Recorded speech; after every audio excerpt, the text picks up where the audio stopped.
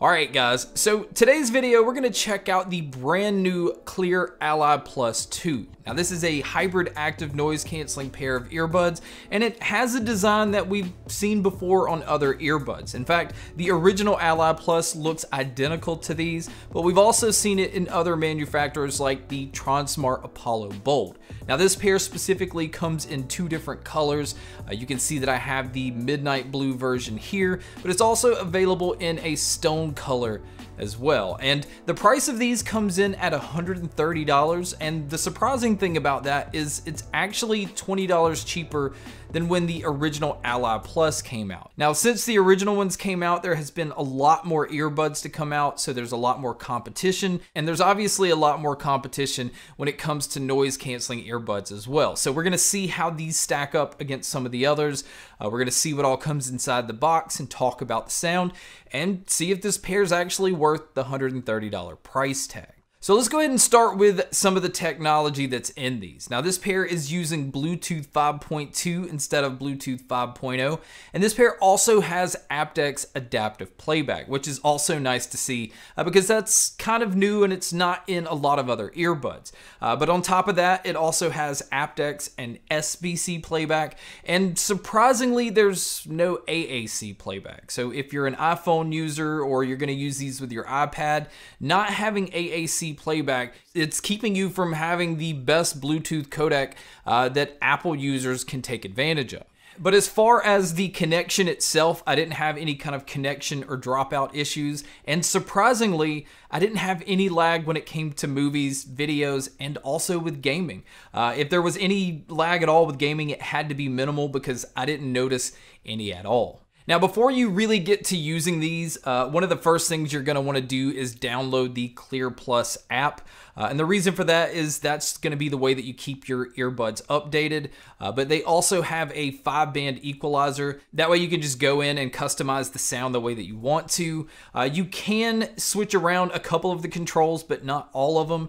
Uh, and then it also has an active noise canceling slider where you can have it turned up to kind of decide if you want a little bit to come in all the way to the point where you just hear all of your surroundings. Now let's go ahead and talk about the active noise canceling on this pair uh, because if you're looking at this pair, that's gonna be one of the main things that you're interested in. And I can go ahead and say this right off the bat, the noise canceling on this pair is nothing special. It's not really doing a whole lot to block out your surroundings. In fact, it just sounds like a pair of earbuds that has passive noise canceling. Basically, just where the ear tip is blocking out your surroundings and not really any technology that's doing that. So uh, I was not impressed with the noise canceling on here, but I was impressed with the ambient mode. I, I felt like the microphones picked up my surroundings very well. Um, it was definitely easy to carry on a conversation without actually having to take the earbuds out. So if you do plan on using these outdoors, it is nice that that ambient mode is going to allow you to hear some of the traffic around you.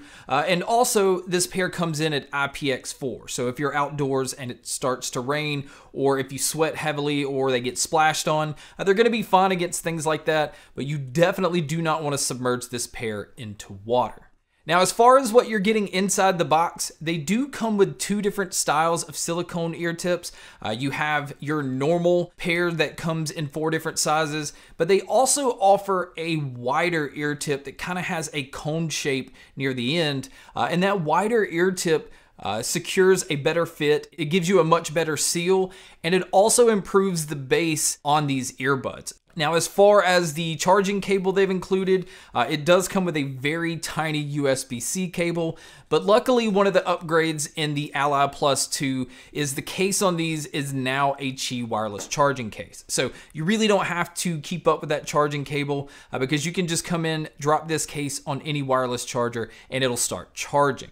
And speaking of the charging, the battery life did get a slight boost on these over the originals. Uh, if you decide to use these with the noise canceling off, you can actually get around 11 hours on the earbuds and around 33 hours using the case. But if you do decide to just leave the noise canceling on all the time, which I don't recommend because it's not really making that much of a difference, it brings it down to 10 hours on the earbuds and around 30 hours using the case. So that alone should already tell you there's not a lot of technology going on because there's not that drastic of a drop off when it comes to battery life if you use these with the noise canceling off or with the noise canceling on. Now, if you do happen to pick these up and the battery is dead, they do have a fast charge feature where a quick five minute charge will get you an hour's worth of use. Now moving over to looking at the rest of the case, uh, it still keeps that same design that I like where it's clear at the top and you can see the earbuds through the case. Now on the back of the case, you can see the USB-C input for charging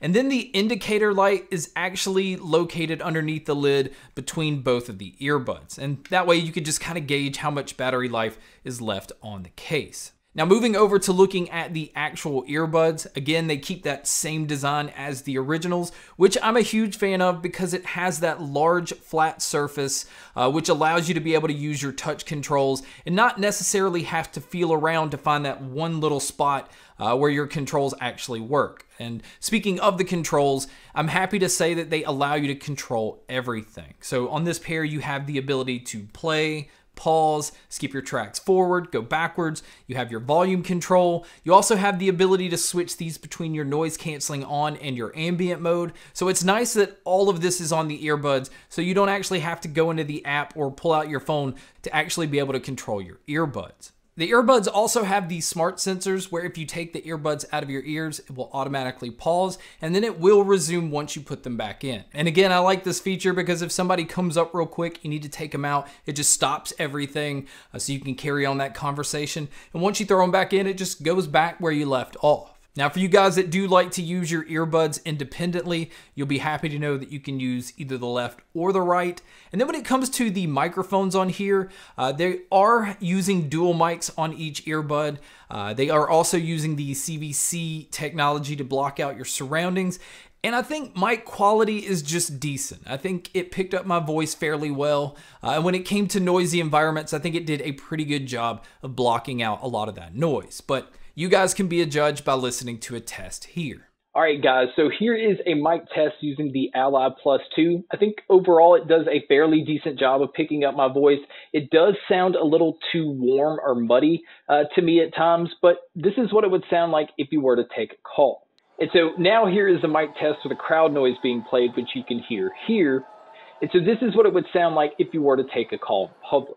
So now let's talk about the sound because these are using 10 millimeter graphene drivers and surprisingly, they're giving you a pretty balanced sound overall. Um, they're not allowing the bass to do too much. Uh, it does have a quick little punch to it, but they are trying to tame that down uh, because there is a lot more focus on the clarity. You can hear a lot more of the mids and a lot more of your treble. In fact, the treble at times can actually get pretty bright. I would even say, depending on what you're listening to, you're going to hear a lot of that sibilant sound where the crashing of cymbals or the S's are going to have a slight little hiss. Now, you can go into the app uh, and definitely pull down the treble a little bit to offset some of that, but you are going to sacrifice some of the details in your music by pulling that treble down as well. Uh, but the mids on these, I thought, was the strongest point. I thought that they sounded very natural. Uh, male and female vocalists, you could just easily hear a bunch of different characteristics. Uh, it wasn't trying to do too much, but it never got lost in the mix no matter what I was listening to. And I think that also, again, plays to the fact that they didn't allow the bass to overpower these. Now, even going into the app and trying to boost the bass, uh, you're only going to be able to get so much out of that. But one thing that definitely improved the bass quite a bit was switching over to those flatter silicone ear tips that they included in the box. So if you go into the app and boost the bass and then you change over to those flatter ear tips, it definitely improves the bass performance on these. But I still think overall bass heads are going to want a little bit more. And even speaking of that, when it comes to volume, I was actually wanting a little bit more there as well. I felt like I had to listen to these at full volume, and I still wish I had another two notches to get it um, as loud as I like to listen to it sometimes. Now, I don't like to listen to them loud all the time, but I felt like with this pair, I needed to have them turned up at all times. So do keep that in mind if you're somebody that likes to blast your music. Uh, these are kind of limited when it comes to the volume.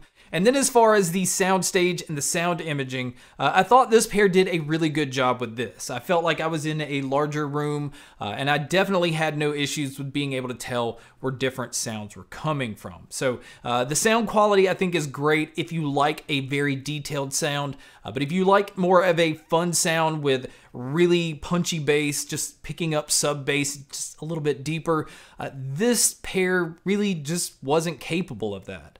Uh, and then some of my other cons that I have to go back to is the noise canceling just isn't that strong on this pair. The fact that it doesn't have AAC for people that are using Apple devices, and then the volume needing another notch or two just to get it at a level that I like to listen to it sometimes is enough to make this a pair that's kind of hard to recommend. In fact, I think if you look at these compared to the originals, I would almost say go back to the originals because now you can find those pretty cheap. Now, I'm not saying this is a bad pair. I just think because of the competition that's out there, uh, there's just so many good earbuds that are at this price or lower uh, that it just again makes it a little bit harder for these to stand out. But they do have a solid battery life.